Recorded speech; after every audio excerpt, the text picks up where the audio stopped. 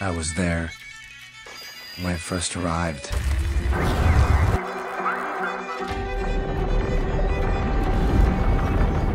Why didn't you tell anyone? I tried. And they destroyed me for it.